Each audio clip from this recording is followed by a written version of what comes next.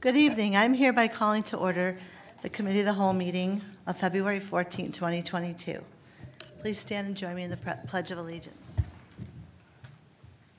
I pledge allegiance to the flag of the United States of America and to the republic for which it stands, one nation, under God, indivisible, with liberty and justice for all. Oh, okay. So- Don't show me. No, we don't. Oh. Okay. mhm. So the purpose of the meeting um, this evening is to discuss the up, the council update on the Aquatic Center. So, Mr. Trotta, I'll let you begin. Thank you. Thank Um, you. It's been about a, I don't know, about a month, maybe a little over a month since we were here the last time. And, you know, there's some, been some interesting advancements and wanted to kind of get you up to speed, sort of where we are with the process and uh, timeframe and so forth. Christopher, you go to the first slide.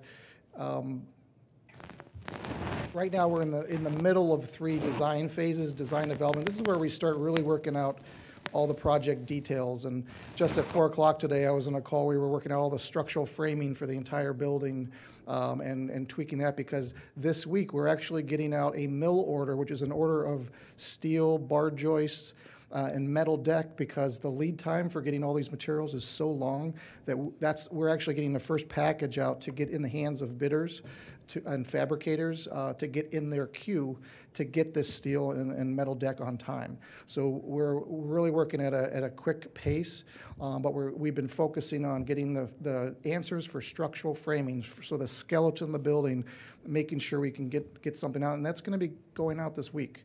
So it's, uh, you know, the floor plan is, is set and, um, and which is important, uh, but we're, you know, all the air handler units, what's up on the roof, the weights, the size locations, all of that, we've been working out those details. So we're really getting into the, the details of the design now. Um, FirstEnergy did get back to us, and there is no issue with the location of the building in proximity to their high, high power tension lines.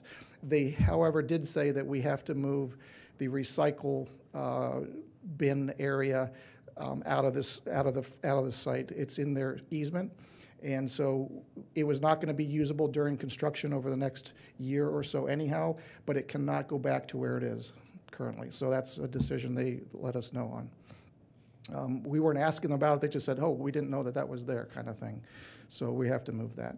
Um, the acoustic study still hasn't happened because of the weather with the snow. We can't perform it over the past month.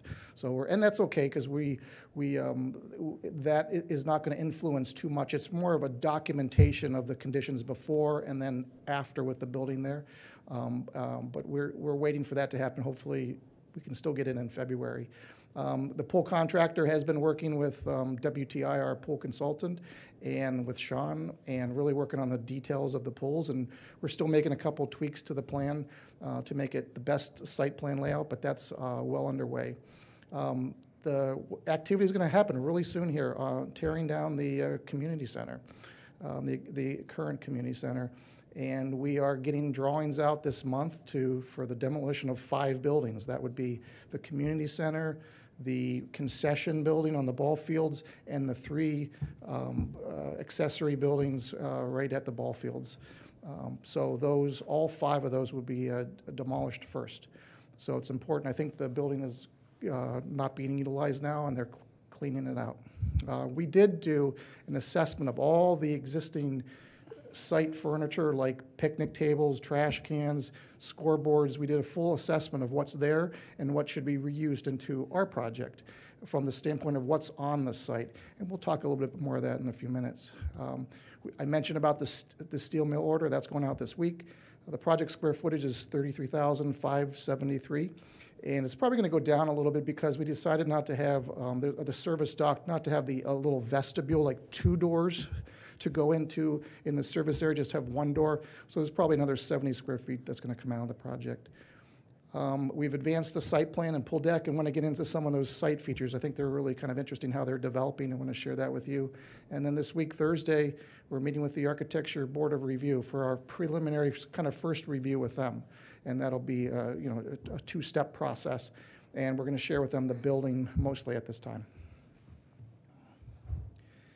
This is the latest site plan. This is the technical site plan from the civil engineer. So, you know, it includes all the parking, the service center, all the features we're going to talk about today, the detention basins, everything's really getting worked out. The one area that we're really focusing on as well is the service dock and um, its relationship with the building, the size of it. Right now, we're showing that a semi truck can kind of turn around in it, but it's a lot of pavement for that. So we're trying to come up with a, an alternate idea that you know, a semi truck, a 53 foot truck is going to be there sporadically. That's not the usual traffic, but we want to make sure at least a fire truck can get a, turn around in there. But we may find a different way for the semi truck to back up and get in there so we can reduce the, uh, the um, paving back there. Next slide is the, uh, this is the service center. And you can see that at the off of Marsol, a, a semi truck can sort of stage off of Marsol before they get to the gate. So if it's someone that it does not have the uh, a controller for the gate um, and they need to get off Marsol, they're not staging on Marsol to get into the property. So that's why it's sort of set back that way. And then we have a retaining wall sort of all on the, the left or the west side. And we have, um, you know, that's going to be bermed up. It's going to have a fence. It's going to have landscape along, like arborvitae or something, really kind of camouflage that, that edge. So when you're in the parking lot, you're not really looking and seeing um, what's beyond there, concealing it the best we can. Um, and then the rest of the area is going to be a heavy duty concrete, that whole area, and it'll tie into the existing uh, service center back drive off, uh, you know, right behind 271 there. This is the uh, current presentation plan, and it has um, several interesting features I'd like to go through with you. The first one, Christopher, click to the next page this is, we're calling this the clock garden. And when we did our site evaluation, next slide, you have a, a nice, you know, clock feature with a couple benches around. And we wanted to make sure there's a home for that in our project. So if you flip, uh, let's go to the next slide, uh, sorry. So what we did, what we did is right at the corner of our pool building, right off from Marsol, this is the main entrance drive, is to really create a nice meandering sort of pathway that has the benches, the clock in the center, it has the a monumental uh, sign that announces you know the facility, a ground sign, uh, relocate a flagpole, but really put all those some of those site features and benches that are right at the uh, entrance actually to the uh, community center. We can place them around there, and then also there was an idea of um, maybe there's some bricks with people's names that we can get for, to, for donors that in that area could be all around that sort of that paving area, but really creating a nice you know because. Um, you know, there's not, uh, you know, really a walking path around the facility. This is sort of an area to you can meander through and have a really nice experience with flowers and perennials and shrubs, and it could be a really, you know, just a nice soft entrance to to our, our project. Then on this other side, we're, we're debating this one. This is the picnic pavilion. The, the next slide shows that it could be, uh, you know, a timber structure.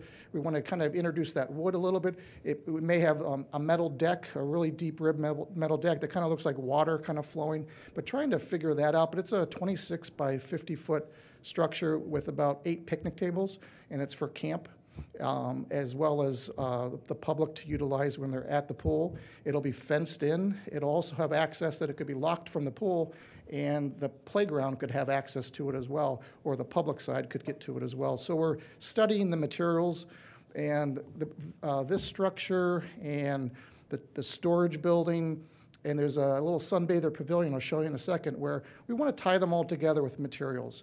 And there are some, uh, we are doing some introduction of some wood on the building, and this might be another opportunity to kind of kind of bridge a more contemporary but still have some traditional materials. The playground, uh, we are advancing that. Sean has taken that a little bit forward, and we have some diagrams to show of, of a potential layout of this. This is sort of a first pass um, at the playground. And these are just some various views of the features of it.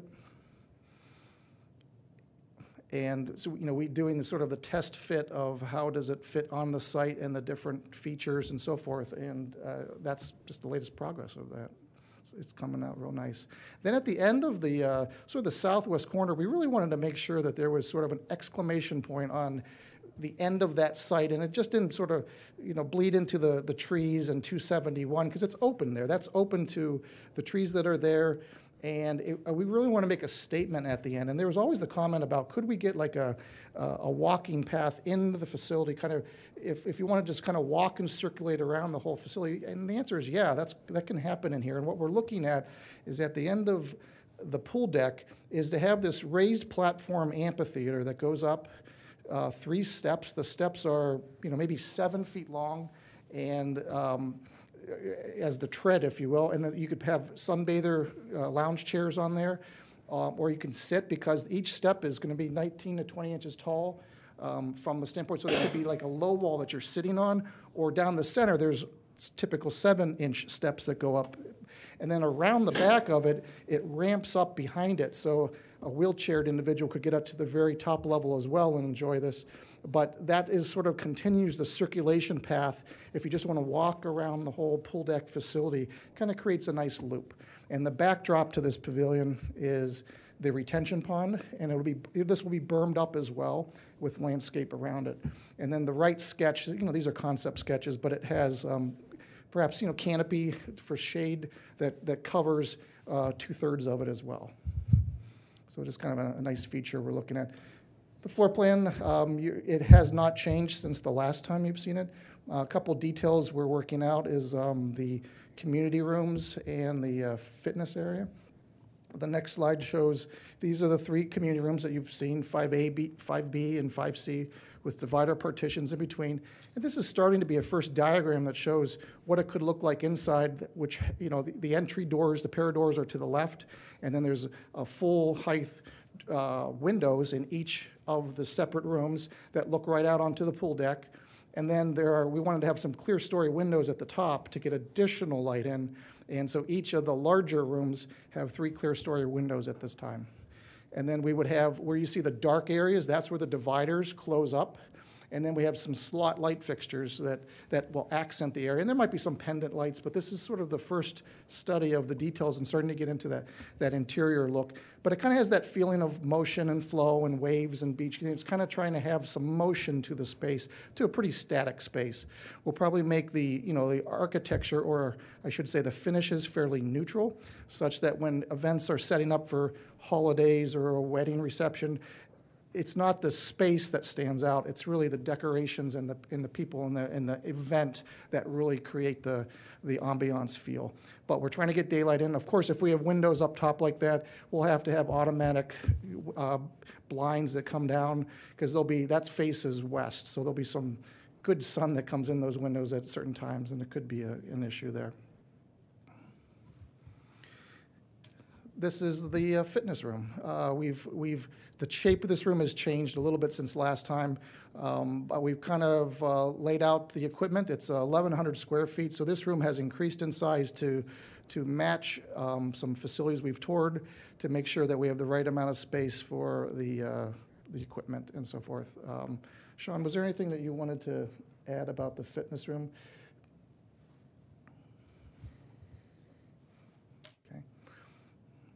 So just real quick, that was the, the snapshot of all the sort of new details to the project. The pool itself um, has been evolving. The, the pool B, the activity pool, we've actually moved a little further away from the uh, leisure pool. We've kind of separated it uh, a little bit, and this is sort of an older plan, but there really hasn't been uh, much change on this at, at all. Um, it all has, has the same square foot, same uh, square foot of water as well. I'll pause right there. Um, we have, certainly have the, the pool images and we have renderings of the exterior, but you've seen those before. Is there, uh, I guess I'll open up for some questions at this time. Mr. DeJohn? Did you say that the community building is being emptied currently? Yeah, the lower level has, the storage room and all that, yes, it's being, you know, the- So, so I just want to know where all the things that are in there, the pictures up on the wall and all the uh, memorabilia that's up there, where is that being placed? It's gonna, it's still up there now, it's gonna, it's gonna come to City Hall.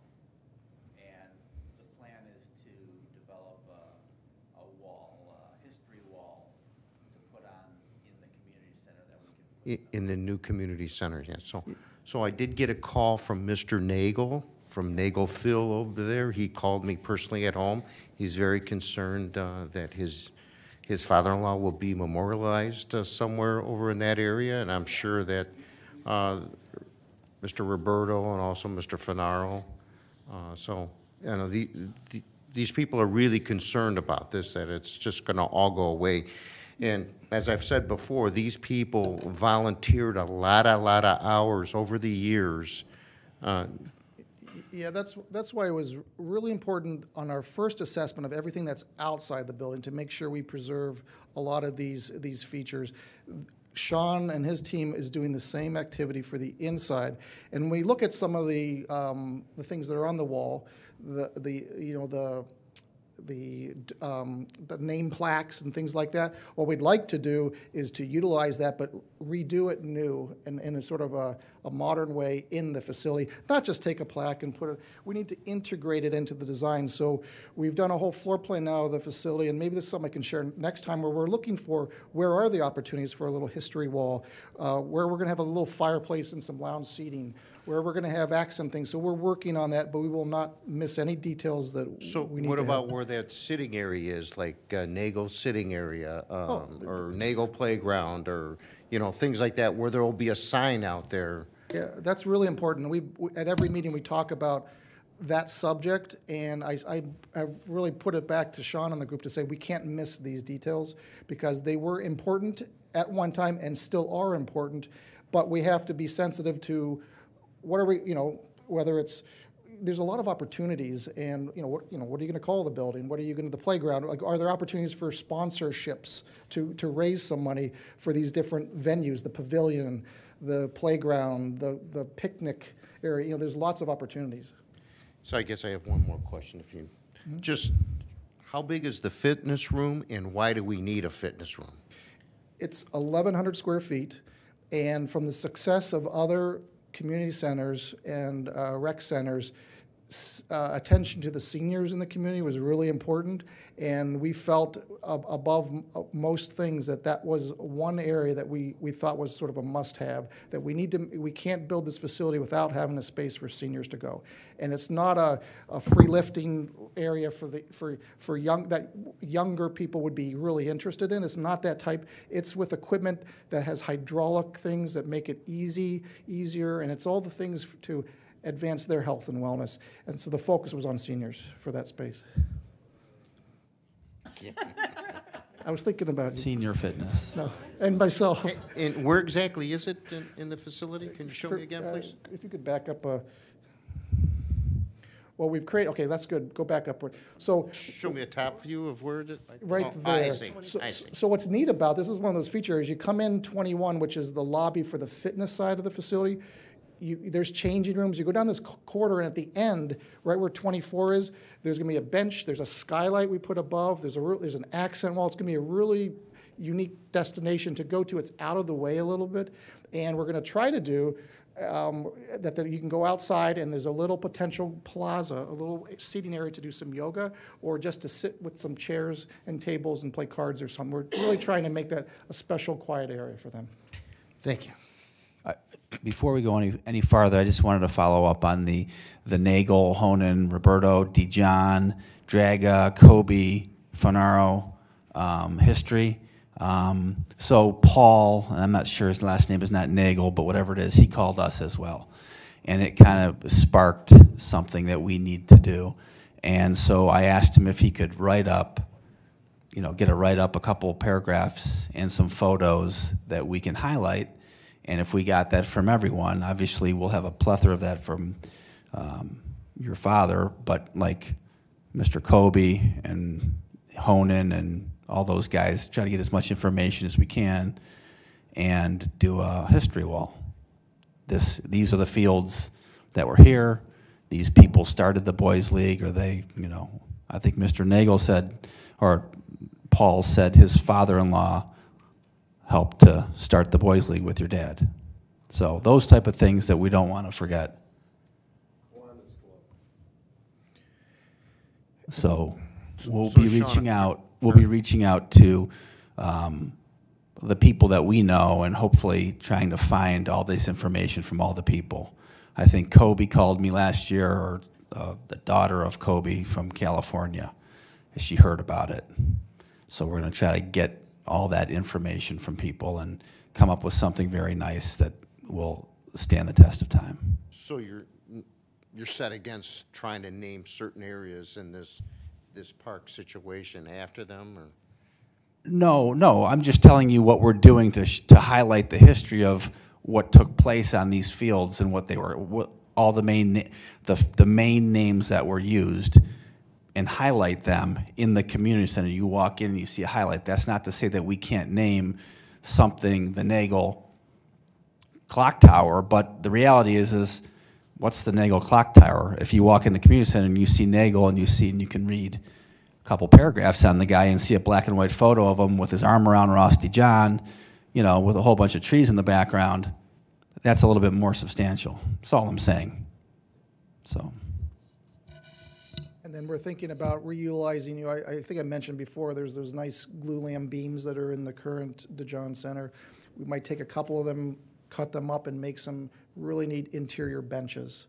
Um, we think that'd be a nice touch. Once again, trying to, it has the wood, once again, pulling that inside, but it's a way to tangentially pull that in, but yet do it in a, in a, in a neat way, and there could be, those benches could be, you know, get donors and name them and do, do some neat things with them. So I think we're coming up with a plan, a program that shows all the opportunities, but we need all your input to tell us, give, direct us on, on what to do with it.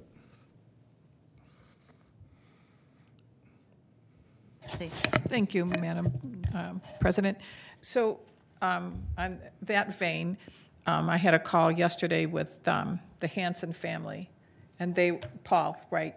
And um, they talked, you know, about the same thing, about, you know, getting some information um, about their dad who was with the Kiwanis and et cetera, et cetera, just as we said.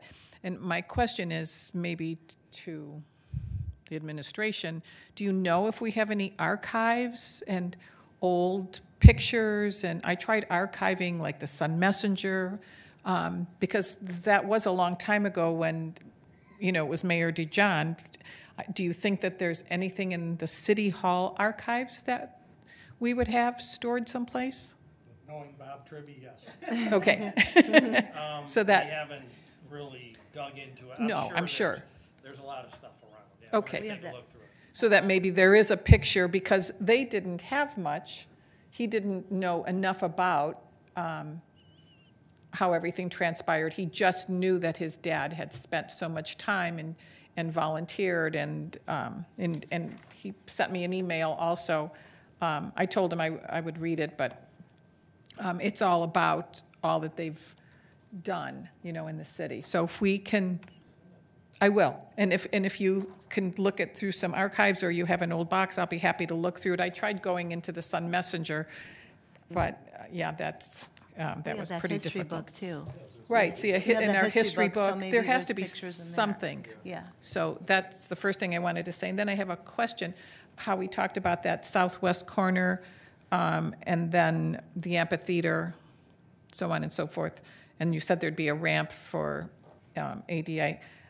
Can this amphitheater be used um, uh, like for a little music venue? If we had a group out there that played music on a Friday night? Exactly, yes. And everybody can bring their own chair, something like what Twinsburg has, or, Yeah, there's, there's, if you look on, on your screen, there's, between the amphitheater and the pool, there's only so much space, and we have to be careful because we can't have people at the, falling in the pool and stuff.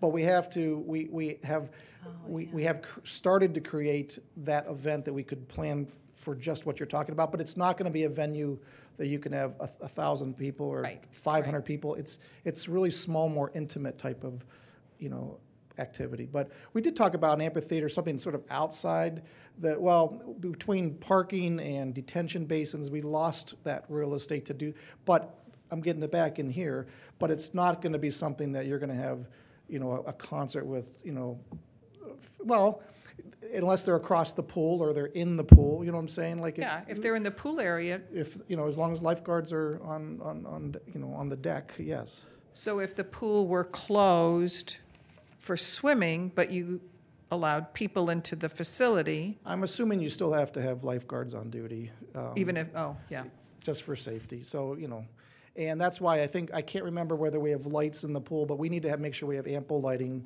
for this, because the, the idea was that we have some dusk-type events, and that's really gonna be really special out in that area. It's gonna, it's gonna be amazing, that space, just for that purpose. Mr. Trotta, have you talked about security cameras at all? We have started to talk about all low-voltage systems, security, sound systems, all, all of that. um, But we're, you know, not, not quite at that point. But we have had some conversations, uh, Sean, with, um, I forget the individuals we've, who? Yeah, so, yes, wh- what, what do you have on your mind? Oh, that, that's all. I Yeah, was yes, just that's- wondering. we're getting to that in, in this phase. Over the next month, we will be, yeah, Okay. thank you. absolutely. Mr. Belstraya? Thank you, Chris. The, um, uh, behind the amphitheater, you had, you talked about the walking area. But it seems to me, what's, the- what's the space beyond that that's going around the pond? You don't show it on, What, what we've, how this has evolved is we, from our, our, kind of our steering committee and going through this is, we're not showing a walking path that comes down behind the backyards, going between there.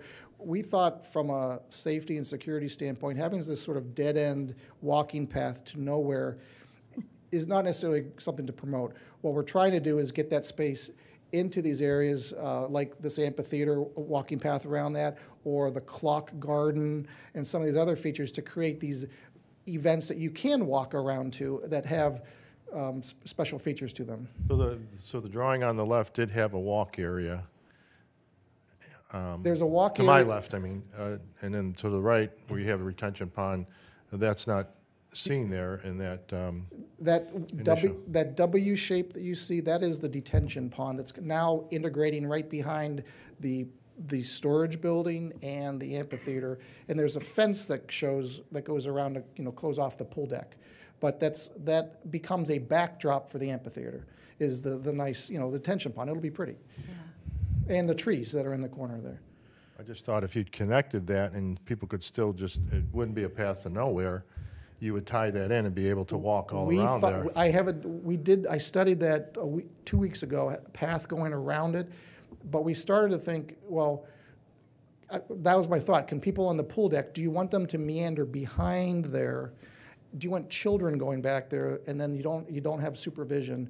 You have this detention pond, which has water in it, a couple, you know, times a year it'll have water in it, and we just you know, said, let's have the walking path that kind of goes up behind the amphitheater. You can look out on it and, and see it, but not get you back there. Because once again, it's just not a supervised area.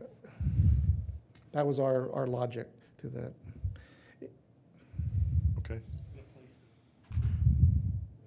Oh, yeah. in a place where people may congregate late or after hours, or you don't wanna give them a path back there, so. You know, we, from the neighbors, we listened to them and they talked about how there, people go back there and there's, you know, I don't know if, if they said a sofa, but there's things that are back and that, people go back there and, and, and hang out. So we're trying not to promote that. Mr. Monaco? Thank you. Um, Do any of your slides contain the occupant load of uh, various areas? Not, none of these slides, no. Okay, so you haven't figured out the number of exits or, Yeah, we have. Yeah, I've, I, I have, uh, I sent, I sent you a copy of it. It's the, the whole program of requirements and all the occupancy load for every single space. That, that's, that's what we have. That's what we're using to calculate it. okay, I, I don't believe I received anything with an occupant load on it. Could- Could you? I- I'll send it to you, yeah. Okay, thank you. Yeah, it's a detailed program, all the rooms, and I added a column for you that was about, for business, assembly, what are the occupancy load and the totals that we then carry up to, to um, calculate it out. And the pool deck as well, the numbers are in there. I'll, I'll send that. Thank you. Sure. Mrs. Sabetta? Thank you, Madam President. Okay, so I just wanted to go back to the Nautilus room. Can any of those um, machines be rolled outside? Because they are doing that now in parks. They are putting small areas of bicycles for seniors to ride outside. You know, we'll have to get our fitness experts to kind of talk about that, or we need to specify equipment that can do that. You know, we, the four rectangles you see there are treadmills, those are large, heavy pieces of equipment Yeah. there. Mm-hmm. There are some recumbent bikes and some other things to the right of those. The rest of it is fixed seated, you know, kind of pneumatic tube.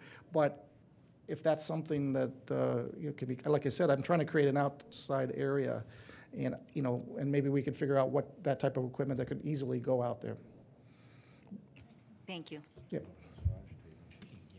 Okay, does any, Mr. DeJohn? Just one last thing, where uh, the community building's coming down, and that's where it's going to be the new service yard, is that correct? Yes. So I'm really concerned how that's going to look in relationship to the rest of the facility. I know you- you said a fence, and I know you said landscaping, but it's going to have to really be done tastefully, so it doesn't look like an eyesore. Yeah, I'm concerned too. I, that's, I would rather it wasn't there, quite frankly, but it Yeah. has to be there. And the best we can do is to berm it up, put, put some arborvitae, a whole hedge that, you know, in time, we're not gonna buy large plants, but to hide it, and we're gonna do a solid fence that matches the solid fence along the residents on the west side, it kind of matches, and, and do the best we can. Then we have these retaining blocks, these big blocks that'll be three high, and so that'll also create a higher barrier. And, you know, you might see, a, a- you know, eh, day one, you might, you'll see, because the trees aren't going to be mature, but it's really a long-term solution. But it, we're going to do everything we can, because I don't, I I don't like it there, quite frankly, because I think in the parking lot, you're, but we're doing everything we can to, to hide it. Okay, thank you. Those mounds of dirt are very high. I don't think we're, I, I'm, but with, with, when the tree, when the shrubs grow up and mature, it'll hide them. If we put them close enough, dense enough, and, and, and I think you might be going for, someone's going for a landscape grant or, or some, a tree grant or something that could help with making sure we can fund the density that you're talking about to block it. okay. And when's that projected to come down? Soon, right? Yeah, well, we have to, we have to finish our drawings this month, and then send it to get plan, you know, review. Uh, That'd take a couple weeks, and um, then tear it down. And then we're gonna, you know, the contractor has to get their fencing up, because, you know, we're gonna have a hole there for a little bit, because there's a basement of the DeJohn Center there.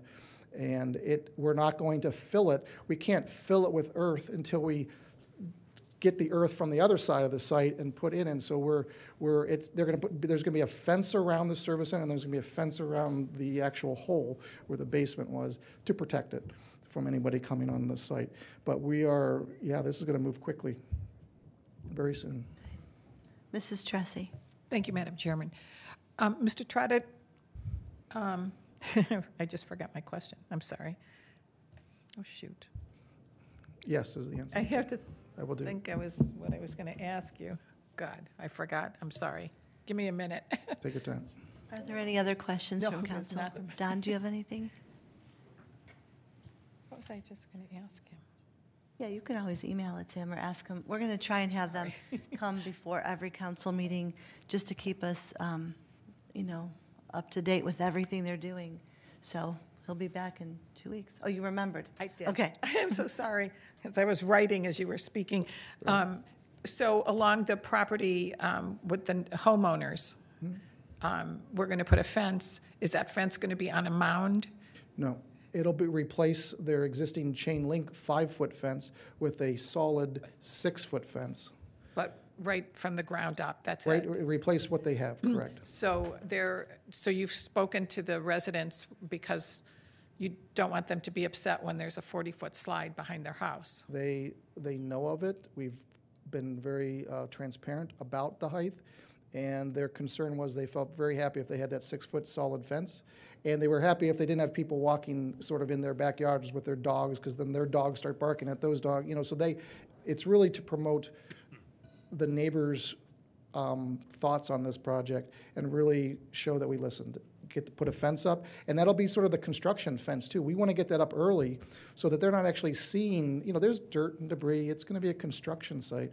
And that fence will help at least visually, and they were all fine with that. The one gentleman, a couple of them, you know, they're, they're in, they're going to be looking, they're, gonna- they're going to see that, but we're going to have you know, there are some trees that are, um, and then we're going to plant with others, but it takes years for trees to get, you know, so we're not, we didn't tell them, oh yeah, we're going to block the views. No, you're going to see it um, it- from s- several of the yards, and they were fine, they were okay with it. So I know um, that the rehab place on uh, Lander Road planted trees, Mm-hmm. and they did evergreens, and they, they're filling in, you know, pretty nicely. Um, Will you do something like evergreens that grow a little bit Mm-hmm. Oh, faster? That would be what I, we were- are going to select. Okay. Um, But, you know, it depends, depends on the caliper you buy initially and the cost with that. But, you know, two, three-inch diameter calipers and, you know, eight, 10 feet tall, you know, try to get a little bit more mature ones, but it'll take years for them to get, uh, but there are a lot of um, evergreens right now there. So not every homeowner has a view of it, but, um, you know, we'll do what, do what we can. Plus, we have to go out there and really, um, now that we have the pool deck sort of figured out, we have to really map it out.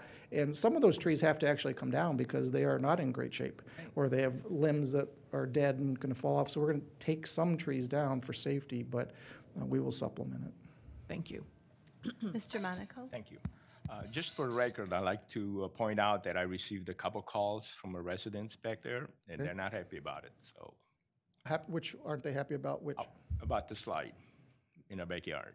Yeah, pl- Please share uh, their names, or we could talk more will- with them. yes, Because we did talk with everyone and I had pictures from their back, you know, from what they're going to see, their views, and, you know, They're saying, they're saying that they were misled because they thought there was already a done deal. They didn't know that they had a say in it. They just were told that uh, this thing is going in and a fence is going to go up to, to screen it. That's what they told me. Yeah, we, um, the result with all of them in this room, we talked to them and they said the fence would solve, that, that would make us happy. And, um, a solid fence, a foot higher than they, they have, um, they said that would be, that would be great. And, uh, the actual, you know, we showed them a, cr- cross-section from their backyards to the pool, or the tower, to the building, and we showed the sight lines that you're, you know, you're, there's some visibility. Um, But they did really impact a lot of things. They impacted the fence. I don't know, but Just saying, for I- record, I'm received saying, A couple of calls, they're not happy about it. yeah, okay, well, w- Sean, I welcome us to go back and talk to them. Okay. Um, That would be fine. And we're going to get the, uh, the, and, and I told them, and we did a whole diagram, that this pool is there for three and a half months of the year. And the baseball fields and that activity is there seven to eight months a year. So the aperture of when there's disruption, you know, but you still will see the tower year-round. But the, the noise and stuff, you know, that's limited to three and a half months of the year. Just to follow up, um, we did also talk to them about landscaping that area to add some buffer. Um, We are going to be applying for a a grant to the county, uh, healthy uh, urban tree, uh, tree canopy. And um, the thought is that we'd put up those Norway spruces that get real tall and, you know, try to block that slide. So, but, but regardless, you know, we, we did mention to them that we'd be adding some um, landscaping as well. Sean, the slide is 40 feet high.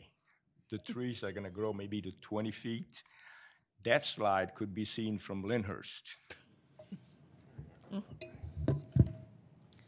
Okay, does any other council person have any questions here this evening? Oh, Mr. DeJohn. Sean, just one, one thing. You said you were going to get the, the uh, height of the slide at Mayfield Village Pool. Did you ever get that? Um, I believe that is 20, I believe that is uh, 25 feet high. I need confirmation on that. Um, I think Westlake was 40, I think Willoughby was 30. Um, I need to get confirmation on Mayfield Village. I don't know that I have it 100% sure on that one. I think 25.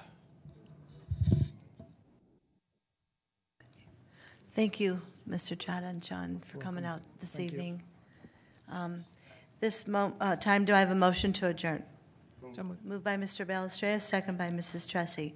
All in favor signify by saying aye. Aye. We are now adjourned. The regular scheduled meeting will start at 7:15. Thank you. You don't ask if nobody, you don't say no, you only say yes. What? Is everybody in favor?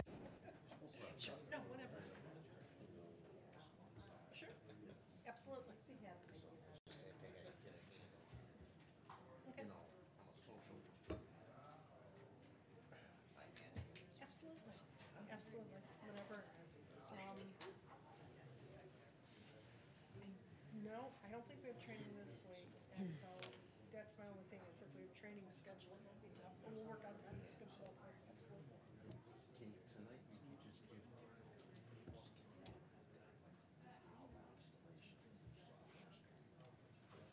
Sure, we may do that, so. Hi. So, um, I drove by, it's fixed. Oh, the catch basin Yeah, got fixed. It was full of snow, but I could still see the new, so I couldn't, I was gonna take a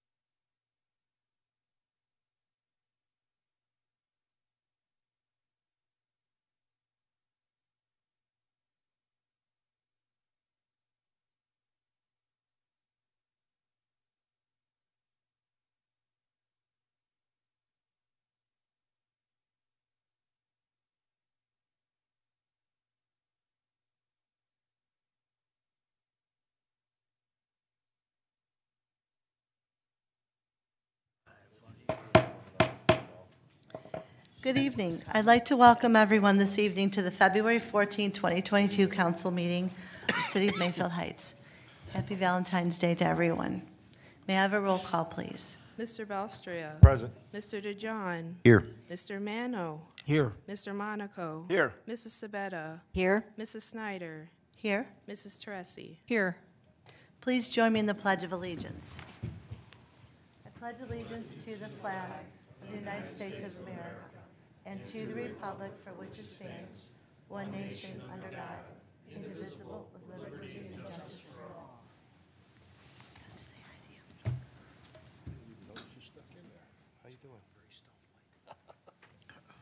Um, Next, we will move to the approval of the minutes of the Committee of the Whole meeting from um, January 10th. I hope everyone has had time to read those minutes. Is there a motion to approve the minutes? Move. Moved by Mr. Belestrea, Second. second by Mrs. Sabetta. Are there any changes to those minutes? All in favor signify by saying aye. Aye. Aye. Opposed?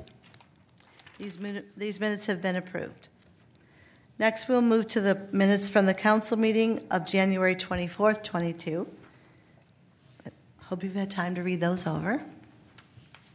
Is there a motion to approve those minutes? Oh, moved by Mr. Monaco, second by Mrs. Tressi.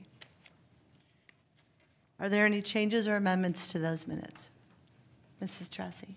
Thank you, Madam Chairman. And on page five of 10 of the council meeting minutes, at the very bottom, it's your quote, President Snyder asked Mr. Murphy if the trail were approved. She wanted to know if AECOM will not in- implement any amenities as she expressed her desire to not introduce. I saw that too. No, yeah, so that's not what, really what you said, right? Not. Not. It should be not. That should be removed. Okay, That just needs to be thanks. adjusted. I saw the Yeah, same okay. thing. I- Yes. Yeah, because it would have lost its meaning with that. Thank you. Right, thank you. Are there any other changes? So if we can have that um, change put in there, that would be great. All in fa- in favor signify by saying aye. Aye. Aye. Opposed? These minutes have been approved as written. Next, we will move to correspondence or announcements. Does any council member have any correspondence? Okay.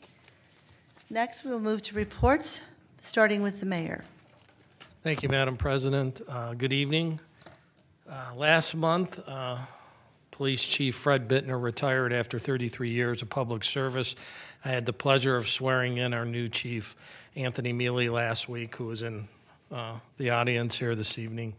Uh, Chief Mealy uh, has a wealth of experience, and I have every confidence in him and his ability to serve as chief.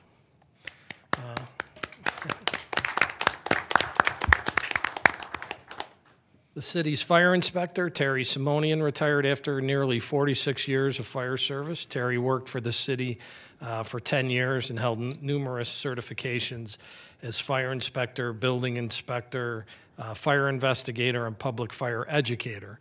Uh, we wish him many happy years during his retirement. Thanks, Terry. Uh, Last council meeting, we did experience difficulties uh, with the recording equipment. That has been resolved. Um, That meeting is available to uh, see if anyone would like to, uh, to view that, and this meeting can be viewed also. So we're up and running. Um, We have some new businesses that opened in the city. Against All Odds opened on Lander Haven Drive. The business offers adult daycare and activities. Handel's Ice Cream will be re- renovating and opening at 1245 Som Center Road in the Town Center Shopping Center. Uh, Primo's, a new carry-out pizza place, is looking at the Pizza Hut space at 5867 Mayfield Road. And uh, the plans for Sheetz are completely approved and will start construction soon. And on our agenda this evening is Piada, uh, is moving into the former Bruegger's Bagel location across the street. Uh, prelimin- Preliminary plans have been approved, and interior construction will begin soon with a targeted opening date in early summer. And that concludes my report.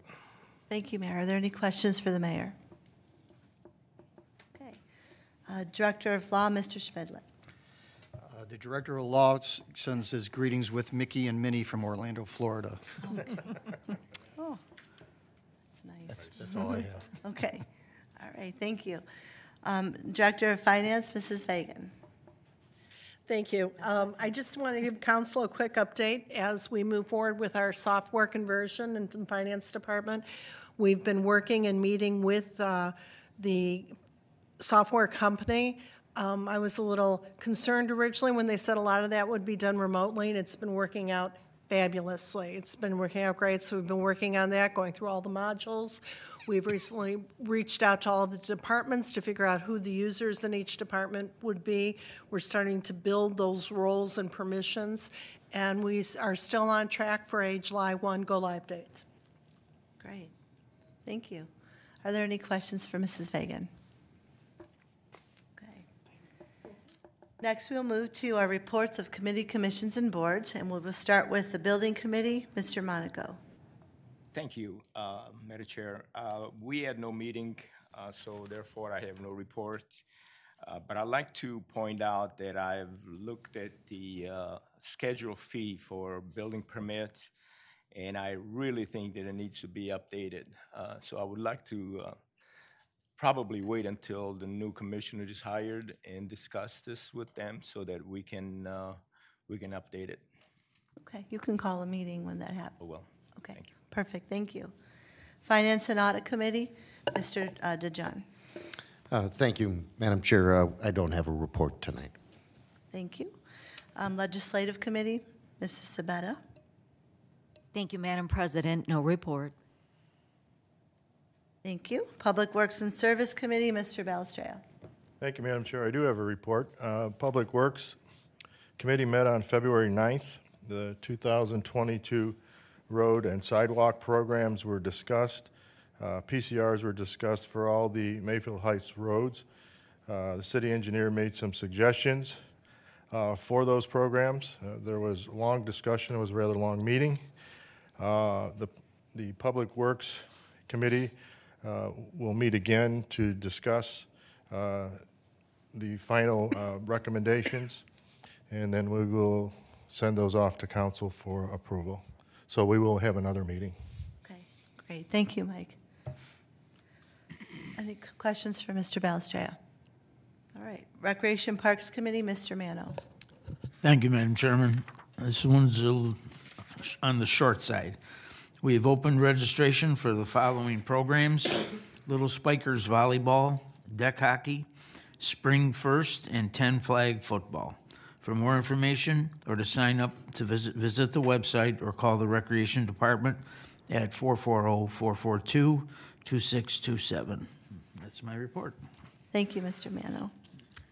We'll move to Safety and Transportation, Mrs. Tressi. Thank you, Madam Chairman. The Safety um, and Transportation Committee has not met. I did reach out to both uh, chiefs, um, but we have not had a formal meeting. And both gentlemen are here this evening if they'd like to talk about anything. Thank you. Thank you. All right, and Board of Zoning Appeals, Mrs. Sabetta. Thank you, Madam President. Um, The Board of Zoning Appeals has two resolutions on first reading on tonight's agenda. I encourage the applicant to address council during the public portion. There is a meeting tomorrow night here in council chambers at 7 PM. There's one item on the agenda. Thank you. Thank you, Mrs. Sabetta. And the Planning Commission, Mr. Belstrea. Thank you, thank you. Uh, Planning Commission met on uh, February 7th. Uh, Council was copied on the minutes. Uh, As a result, we have two motions on the agenda this evening. And I would just, uh, I forgot to mention with with regards to Public Works, uh, one of the agenda items that we added to the agenda was the dye test program, and I just want the residents to know uh, that we haven't forgotten it. It's, it was discussed, and we're just waiting on the weather to continue that program. Okay, great, thank you. Any questions for Mr. Belstrea? All right, thank you. We're going to move to comments from the public. Um, We will now proceed to the public portion pursuant to city code. Each person will be allotted five minutes to speak with a maximum of 30 minutes for the entire public portion. If you are here in connection with an agenda item, this is your opportunity to address council. If you would like to be heard this evening and have not done so already, please fill out a form located in the back of the, on the back of the table by the public entrance. Um, During the public portion, I will call each person wishing to speak to the podium.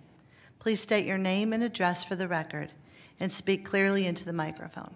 It is now 7:30. I will open up the public portion. Okay. No one else handed it to me. Oh, yeah.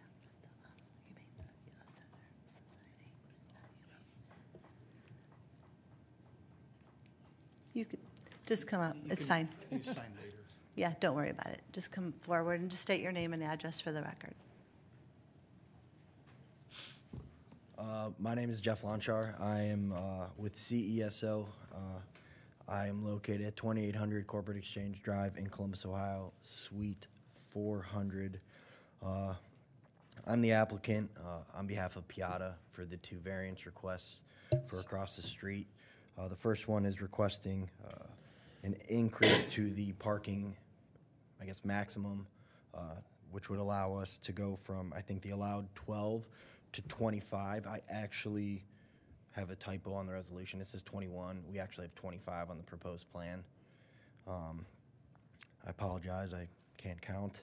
Um, and then on the second resolution, we request uh, to have a drive-through, I guess, element on three sides, more than two sides of the building.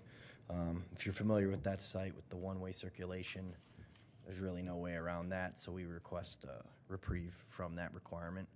Um, other than that, I'm happy to answer any question that council may have. Thank you. We can address it when it comes before us. Thank you so much. Is there anyone else that would like to be heard? Oh, come on. Thank you. Thank you. Joan, you could just, yeah, come right up. Yeah. Okay. Hi, I'm Joan Gotchling. I'm here representing the Mayfield Township Historical Society volunteers and members to thank you for your very generous support by your grant money that you gave us this year for 2022. As you know, we use it for our programming, our speakers, and to help with the school children visits that uh, the school kids come from the third grade through all the schools uh, in the spring. Unfortunately, last year with our COVID, we had to shut down the house, but we did do a virtual tour, which was very well received. Um, you can do a lot with an iPhone, you know, and the kids loved it. Um, we also expect you, as members of the township, Highland Heights, Mayfield Heights, Gates Mills, and Mayfield Village, the original township members, to reach out to your community members. You see the people in the community, maybe somebody's interested. Somebody needs uh, some history. Uh, you're, you're looking for pictures of Kiwanis. Well, come to us. We might have them in our records. We have a big uh, research library in our house.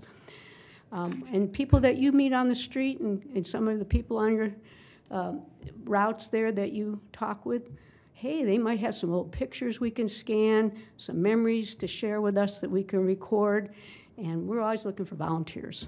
So thank you again for all your help. We're gonna, you're going to see us this summer at Community Days and some of the musical events. We're going to have a table up with pictures of the old and the new Mayfield Heights from way back when to, to, to the present day, how things have changed, and people have been well receiving that. So hope, hopefully we'll see you at those events, and thank you again. Thank you. Sean, maybe we could um, take pictures of some of the things that we have right now as, it- as they exist, so that they can scan what, what we have up into your library. Thank you.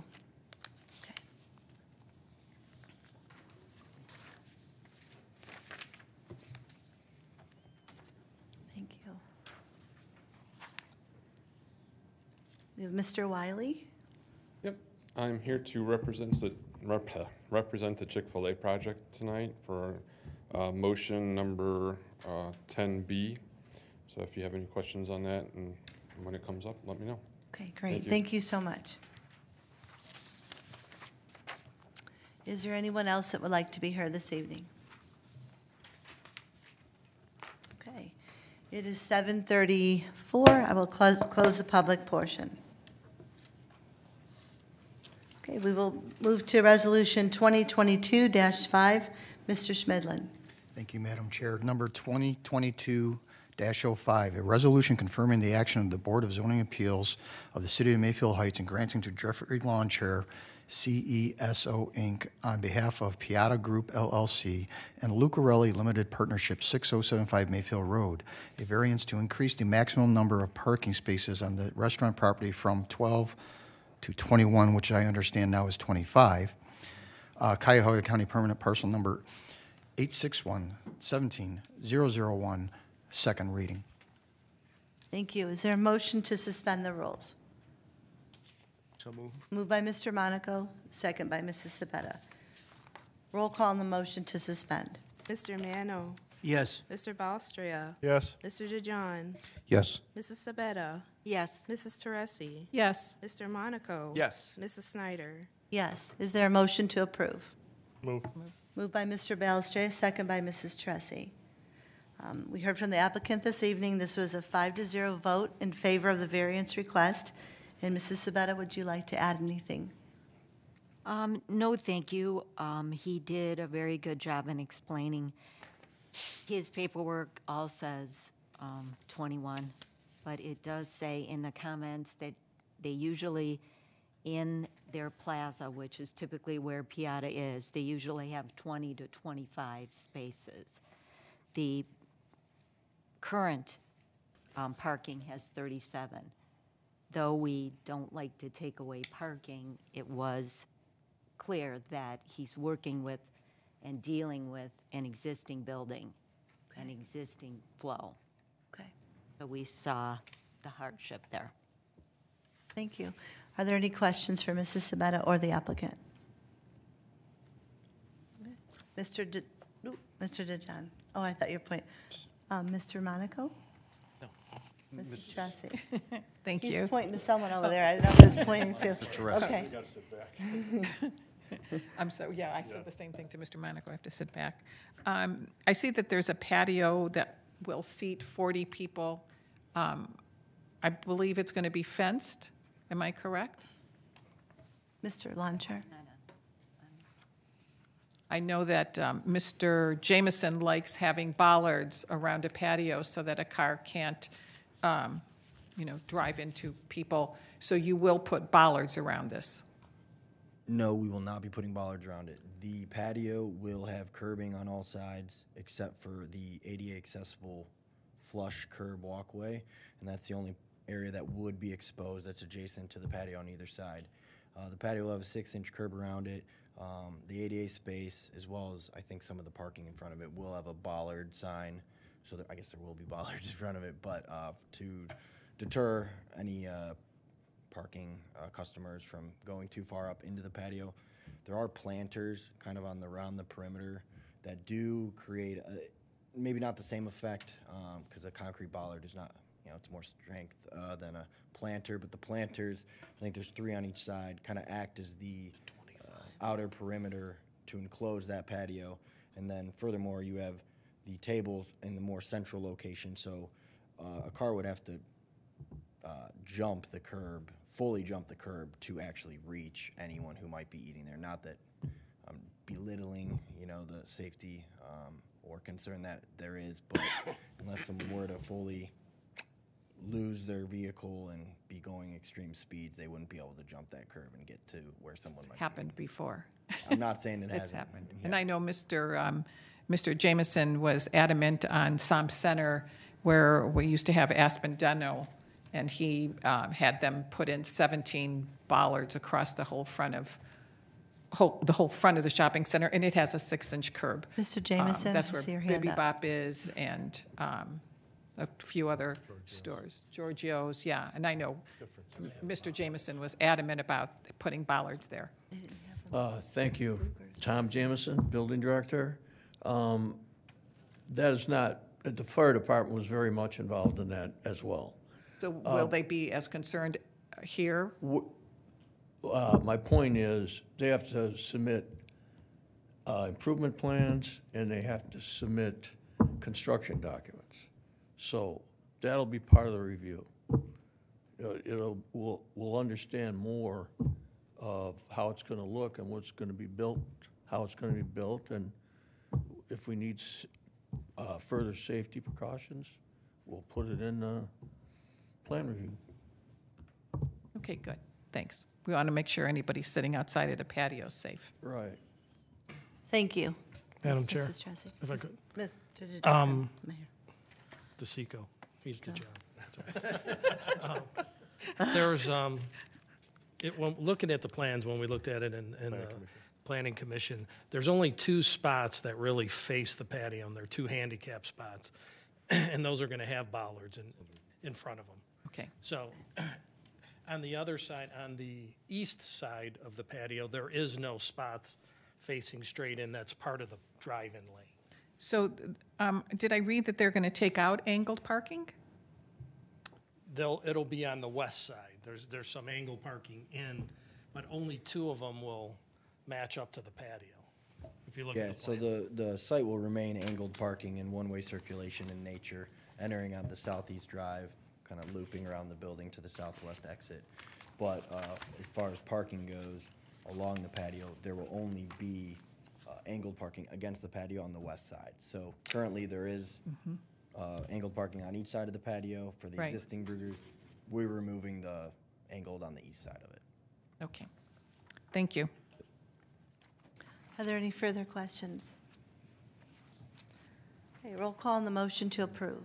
Mr. DeJohn, Uh, Yes, I'll approve it according to the upgrade to 25 spaces. Thank you. Mr. Monaco, Yes. Mrs. Teresi, Yes. Mr. Balstria. Yes. Mr. Mano, Yes. Mrs. Sabetta, Yes. Mrs. Snyder.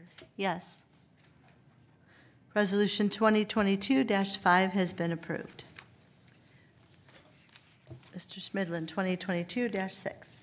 Thank you, Madam Chair. Number 2022-06, a resolution confirming the action of the Board of Zoning Appeals of the City of Mayfield Heights and granting to Jeffrey Lonchar, CESO Inc., on behalf of Piada Group LLC and Lucarelli Limited Partnership, 6075 Mayfield Road, a variance to allow drive-through lanes to be located on more than two sides of the building in conjunction with a new restaurant on the property.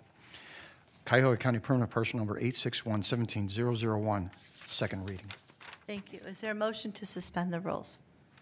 Moved by Mrs. Tressi, second by Mr. Monaco.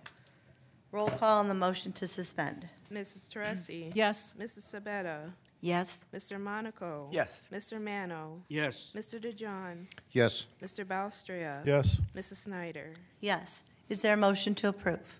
Move. Moved by Mr. Belstraya, second by Mr. Monaco. Again, this was a five to zero vote in favor of the parking variance, and we heard from the applicant. Mrs. Sabetta, would you like to add anything? Did everyone get a site plan? Yes. Okay. So if you're looking at the site plan, directly as you can see, um, the applicant clarified that the pickup window is in the rear of the building. So technically, the third side is not part of the drive-through, but it's the only way to exit.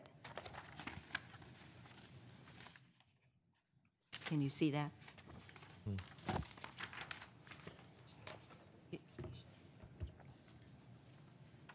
Yes. You can exit Yeah, on only this side. one way closest to, Yes. The drive-through, the pickup window is in the rear, and the only way out is coming to Mayfield Road. They're keeping that the same. So technically, we saw the hardship. It's not really considered drive-through, because it's the exit. Mrs. Tressi. Thanks, Madam Chairman. Um, So is this a new concept for Piadas? Because I know that the one at Cedar Center has no drive-through, it's in the middle of a shopping center. The one on, um, I went to the second one. Center. I went to Cedar Center and One by Harvard. by Harvard. Yeah. And neither one have a, have a drive-through. So it's technically a pickup window, so an order ahead. Um, so if you order and uh, go to pick it up, you could pick it up in the store, or you could stay in your car and circulate uh, through the pickup queue, uh, and then at that window get your order. uh, and then be on your way. Uh, So th- those two do not. Um, I know that they, Piada does have several stores with this concept. In Columbus, there is one. Uh, There's a few down in the Dayton, Cincinnati area. Um, So I wouldn't say it's new necessarily, um, but it's something that is, you know, being implemented more and more with their new builds and their new sites. And with 25 parking spaces, will you have enough um, parking for eat-in, for dine-in, because you will have dine-in, and you'll have employees? Will you have enough parking space um, for all of these cars? Yes, so with uh, the 25 spaces, uh, just say on an average shift, there's five to six employees, so you're down to 20. Uh, There are 32 seats, give or take, but it only equates to about six to seven tables, one being a community table. Uh, Therefore, you know, assuming that if, I won't assume, but say a group of, a table of four, two or three people drive, you know, if you're looking at two to three cars, say even for the six tables, you're looking at 18 cars, give or take. Now, um, typically when I eat at Piada, not that this matters, but you know, I'm probably there about a half hour. So, you know, in theory, uh, even if the lot were to fill up, there wouldn't be really anywhere for someone to possibly park or to try to eat in. Now, if there is the combination where someone is parking and they go in and pick up their food, those people would probably be in and out in a few minutes. So uh, there is some give there, but, um, and I use kind of a higher probably uh, ratio with two to three cars per table. Um, If a family goes with a a Jeep, uh, table of four, you know, that's one car with one table. So we think that this is, uh, 25 spaces is adequate, and it's typically what Piada goes for uh, with this size of a building. Thank you. Now, is there a front entrance, or, you know where the pickup went, is there a side entrance, or just going through the front?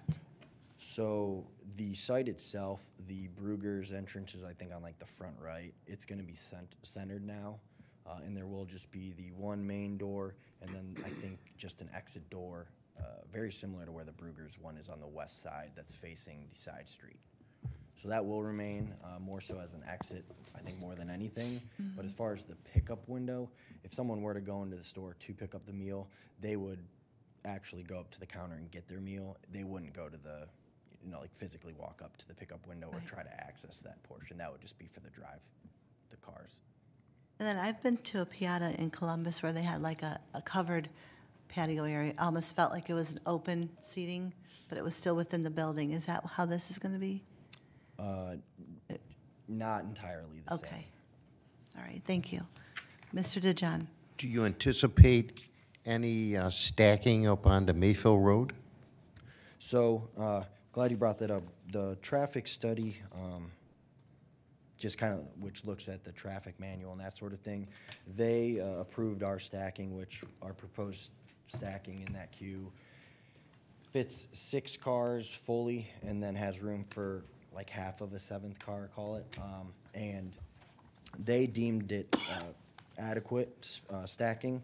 And then I also do have some data from Piada, from the two, two of the newer stores, and one in Kettering one in Mason, um, that their average, uh, their average, I guess, stacking uh, for cars ranges from, you know, during the lunch hours, uh, four to five, and, uh, and then during the, you know, the PM peak during dinner times, it's roughly the same, where it's around four, mid fours. So based on the averages, now there will be outliers here and there, but based on the averages and the typical time that the orders, uh, you know, someone pulls up and they get their food being a minute to a minute and a half, uh, we don't see the queuing or the stacking being an issue based on those numbers. Because it's very dangerous if they do stack up on the Mayfield Road. I mean, we see it. Get all up and down With some of the Mayfield, yeah. other businesses, so. Yep. Yeah, we don't anticipate that here. Uh, the pickup window we know is a little bit of a different concept, but uh, we don't have anything that will be on site that would reflect a drive-through uh, besides the lane, really. So there might be a little bit of a learning curve. Uh, we're hoping that you know doesn't linger or last, but besides that, uh, you know, people being on site, you know, about a minute, call it. You know, they'll be in and out of there, depending on the size of their order. Obviously, if it's bigger, they might be there two minutes. Thank you. Mr. Balstraya? Yeah, Jo- Mr. DeJohn, I don't know if you received um, the information that um, was given to the planning commission with regards to the number of cars and stacking. So we felt it was very, you know, adequate data presented, and we don't think there's going to be any issue with, based on the data that we received, with any kind of stacking on Mayfield. So we'll keep our fingers crossed, but. Yeah, I, I just want to make sure. Yeah. I did see that information. okay, I didn't but, know if you You know, received but it. I see McDonald's, how they stack up onto Mayfield Road, and it, it's, it's, it's a terrible safety condition. That's what I was going to ask Mr. Balestria. H- How many cars does Mayfield, uh, I mean McDonald's uh, stack? Do they stack about the same number of cars and they end up in the street? No? No. No? They stack 12, even with the, I know. On the uh, we- property, yeah. It was said that once we had that second menu board, that stacking would kind of diminish, but It's about 10 or 11 right now. is it that many? Yeah. They s- They're still stacking in, the- into the street at McDonald's, The curve. And Dairy even Queen. with the second menu board. We, you know, Dairy Well, they're Queen, gonna Dunkin'. McDonald's will start their construction for the second lane pretty soon, so. All right. We'll move to roll call on the motion to approve. Thank you. Valstria, Uh, yes. Mrs. Teresi, yes. I- Miss, Mrs. Sabetta, Yes, Mr. DeJohn, Yes. Mr. Monaco, Yes. Mr. Mano, Yes. Mrs. Snyder. Yes. Resolution 2022-6 has been approved. Resolution 2022-11, Mr. Schmidlin. Madam Chair, 2022-11, a resolution authorizing the mayor to enter to an agreement with the Village of Gates Mills for furnishing emergency medical services uh, for the period of January 1, 2022 through December 31st, 2026, and declaring an emergency. Is there a motion to suspend the rules? Moved by Mrs. Tressi, second by Mr. Belestrea. Roll call on the motion to suspend. Mr. Monaco. Yes. Mr. DeJohn. Yes. Mr. Mano, Yes. Mr. Balstria, Yes. Mrs. Sabetta, yes, Mrs. Teresi. Yes. Mrs. Snyder. Yes. Is there a motion to approve? Move. Moved by Mr. DeJohn, second by Mr. Mano. This resolution authorizes municipal corporations to enter into contract with one another for protection services. This will be from January of 22 2022 through December 31st of 2026. Are there any questions from council? Seeing none, roll call on the motion to approve.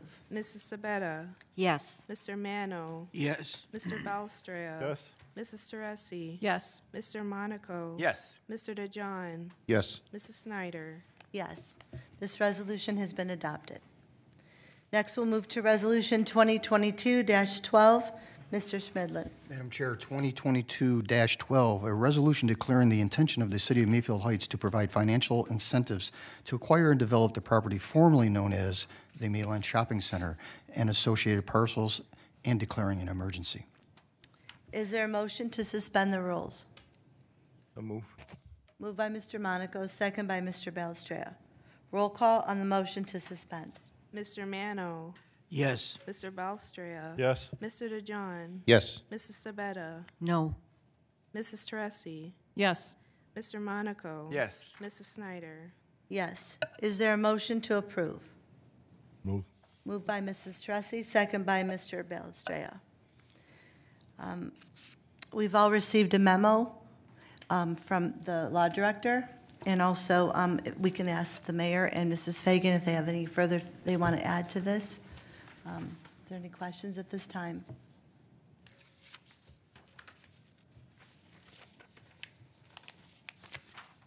Seeing none? No, I have a question. Mrs. Sabetta? thank you.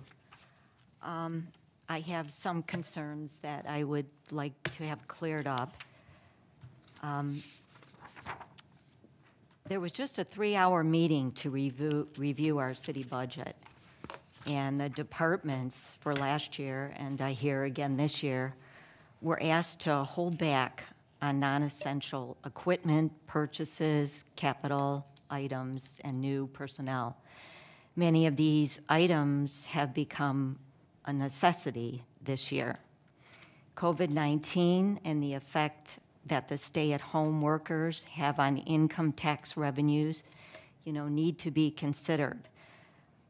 Um, we encourage our departments to apply for grants. I guess what I'm getting at here is we, and I do agree with Mr. DeJohn, we are putting in a new aquatic center. And we may be losing quite a lot of money in this new stay-at-home credit. And we have asked our departments to mind and watch what they're billing. And we need necessities now this year here. So I'm wondering where we're getting this $2 million. If, Okay, Mayor DiCenzo. It makes no mention of any type of, uh, ince- I mean, a, a number, $2 million. It, it is in the resolution, yes. Well, it's in the resolution, but there's only certain monies that we can use for that. So you're, you're talking about commingling different types of funds. Um, Not commingling, I guess that's a different, that's the wrong word. Yes. Money that we can use that. as incentives cannot be um, money that we have um, gotten from taxes or uh, property tax or income tax or things like that. So this is just a, an assurance to the developers that if we, if they provide us with uh, information and, and numbers, and we feel comfortable that we can construct some type of funding for them or some type of grant for them, that we are in support of that. So that will help them going forward to develop the property.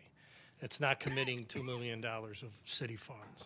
No, not city funds, but in order to help them, such as a TIF, or we would have to get loans and bonds and put up If it's, show- if it is shown that, that it is in the best interest of the city and for the, um, the, um, the term is for the common, not common good, um, for Good and better health. proper public purpose, that's it. Um, Then we can, then we can go ahead and do it. But this is guaranteeing nothing. This is just giving the developer a, um, a reassurance that if everything is um, created correctly and we have the, the uh, information we need to put something together for them, then we will try to help them with it. That's all I'd say. We develop Thank you. area. Um, so where we would get the- Mrs. Tressi. Thank you, Madam Chair. Um, uh, Mrs. Sabetta, there are a lot of, I, I work for a real estate developer, and there are a lot of real estate developers that help um, when, when they're going into a city um, and they're doing a project, and the city does help um, them do infrastructure and um, some of the um, items that are needed um, in order to remove that blighted property and have that new development become a success. I, I know that firsthand for a development that my company did, and um, the city that really assisted them at the time. So um, everybody's complained about Mayland and how it looked. Um, and everybody sitting at this table has come forward with all of the comments about what our residents were saying about Mayland. And, um, you know, this could turn out to be a beautiful project. And um, if we have to help, what little help we can give, something might be better than nothing to get it going. So it's just not either blighted or a blank field, you know, muddy field. That's kind of just my opinion. I, I do have one question, though, about the ninth whereas in, in this um, resolution. Um, Whereas First Mayland has requested the city provide economic incentives to assist in acquiring property, comma, developing that property, and ultimately placing former Mayland into productive condition. Um, I don't understand the acquiring property, those two words.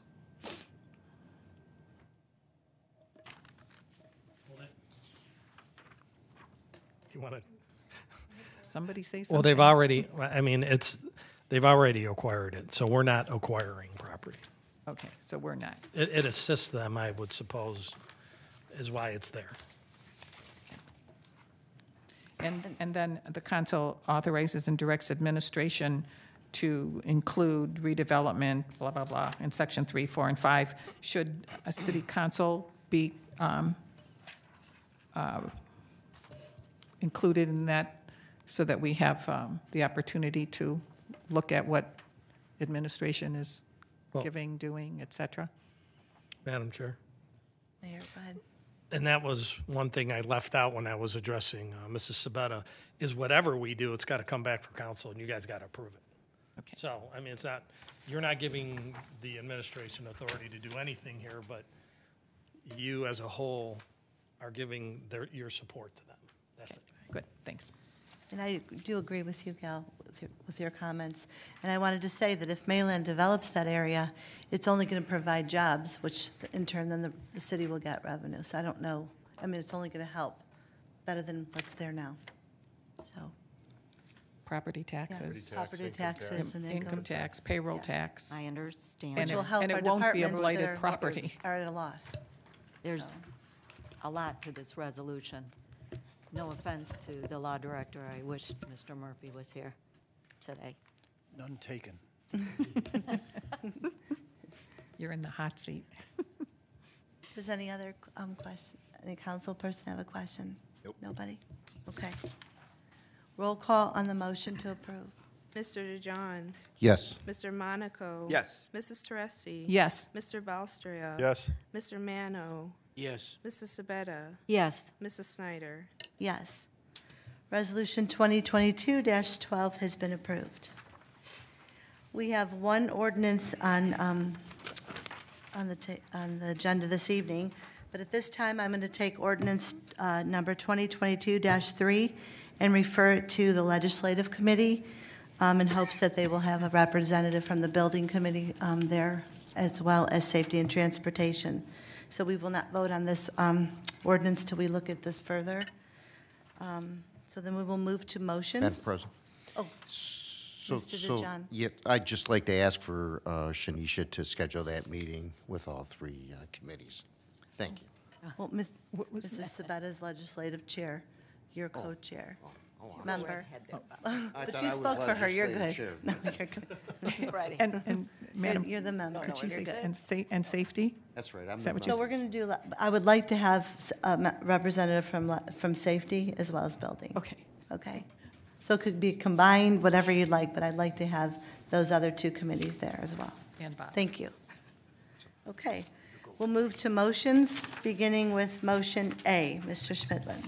Madam Chair, motion A, a motion to approve the preliminary site plan for a new restaurant, Piada, at 6075 Mayfield Road, using the existing building. Is there a motion to approve? Move. Moved by Mr. Balestria, second by Mr. Mano. Um, This is the final site plan, and um, the planning commission? might- Preliminary. Preliminary, I'm sorry, Yeah. preliminary site plan. Um, Do you have anything else you'd like to add? No, I think the applicant uh, answered most of council's questions. Uh, I drove the site, and it- it's actually uh, quite large site to put in a drive-through uh, going around, and I think they're going to be a welcome addition uh, to the city. Uh, They still have to come back, um, as um, Mr. Jamison stated, uh, with the final site plan with, the- with some of the questions that council had, so we'll see those in the final site plan. Perfect. Okay, thank you. All right, roll call on the motion to approve. Mr. Balestria? Yes? Mrs. Teresi? Yes. Mrs. Sabetta? Yes, Mr. DeJohn? Yes. Mr. Monaco? Yes. Mr. Mano? Yes. Mrs. Snyder? Yes. Madam Motion. President. Mrs. Sabetta. I just had one question. In the minutes, it stated that they might need a parking variance for Chick-fil-A. That's the next one. Did you come up with that? Yeah, it was determined that they don't. They do not. Okay, good. Thank you. Okay, so motion A has been approved. Motion B, Mr. Schmidlin. Madam Chair, motion B, a motion to approve the preliminary and final site plan to add a second drive-through uh, pickup lane at Chick-fil-A 6390 Mayfield Road. Is there a motion to approve?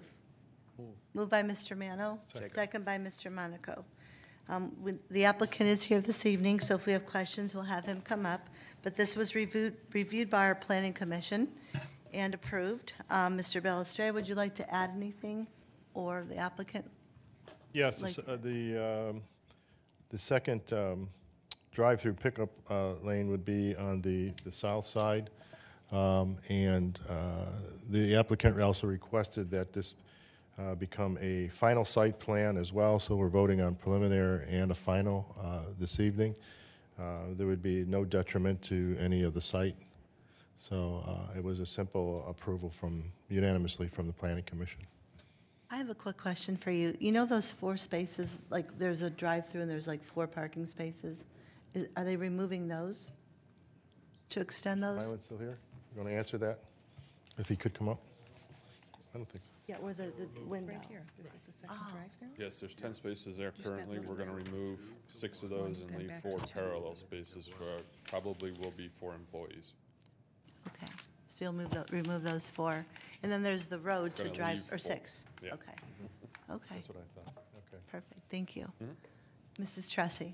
So, um, I, first of all, it's a really long uh, drive-through. Yeah. Um, You could be in that drive-through for 20 to 40 minutes between pulling in and getting to the back. Will they add additional people to ac- accommodate some of these cars?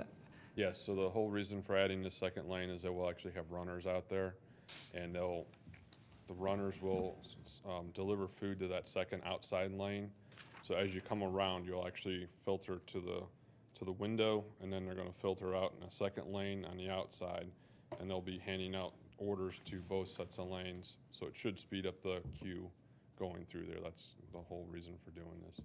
Yeah, it's really a, really a cluster. I mean, I've waited in that line Actually, it moves pretty 20, what? Her business. No, it doesn't. No, I'm, I'm, you know, it's- it's wonderful. It's, yeah, I'm happy for the, for the owner.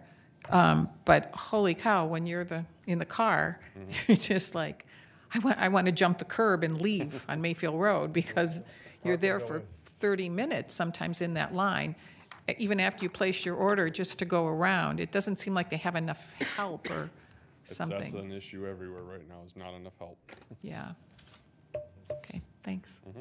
I think they have this at the Mentor location, this extra, because the, the people runner, runners? Yes. Yeah. Mm-hmm. They're, they're actually instituting this across the nation right now. Ah. Okay. Thank you. Any further questions? Mr. Monaco? I was uh, a building commissioner in Macedonia when we added the second line to their Chick-fil-A there. Yep. And uh, the owners are Dan Stengel, and we worked together with him, and he really beautified the place. He put in some wrought iron fencing around with some um, with some masonry posts, with some lighting on top. Is there a possibility that we could do this in Mayfield Heights? That would be awesome. Uh, not right now, it's not. Sorry. Okay. Right. Madam Madam President. Mr. DeJohn? Thank you, Madam President. Just, is there going to be a canopy over this? In the back, there is just a half canopy. It's currently existing, and that's just going to remain. Just, just that, that's there, because, Yeah, we're not adding one currently. because in the front part, there was no canopy, and all of a sudden, one day, I'm driving up Maple Road, and there's a canopy there. I just want to make sure that's not going to happen again, because I'd like to know about it ahead of time. Yeah, no, I, I was surprised to see it there, to be honest with you, because I was part of the original design, and it was not on the original, and I came up here uh, to do a site and, a site visit when I was doing this set of plans, and the canopy was there, so not sure how it got there. Yeah, neither do I, so. Thank you. Okay. Yep. All right, roll call on the motion to approve. Mr. Monaco? Yes. Mr. DeJohn? Yes. Mr. Mano? Yes. Mr. Balestria? Yes? Mrs. Sabetta? Yes. Mrs. Teresi? Yes. Mrs. Snyder? Yes. Motion B has now been approved. We'll move to motion C, Mr. Schmidlin. Madam Madam Chair, motion C, a motion to authorize the solicitation of bids for the service center roof replacement. Is there a motion to approve? So moved. Moved by Mrs. Teresi, second by Mr. Monaco. Um, This motion will let the city go out for bids for the roof that's needed and the main service roof. I believe it's um, having some issues. Um, And this is in the budget for this year, correct? Yes, it was included in the budget. Okay, thank you. Does any council member have any questions? Okay, Roll call on the motion to approve. Mrs. Sabetta? Yes. Mr. Mano? Yes. Mr. Balestria? Yes. Mrs. Teresi? Yes. Mr. Monaco? Yes. Mr. DeJohn? Yes. Mrs. Snyder? Yes. Um, Motion C now has been approved. We will move to new business and comments from council. Is there any new business or comments from anyone here this evening? Okay, seeing none, I will entertain a motion to adjourn. So moved. Move. Moved by Mrs. Teresi, second by Mr. um, DeJohn. All in favor signify by saying aye. Aye. Opposed? Okay, all, we are now adjourned. Thank you.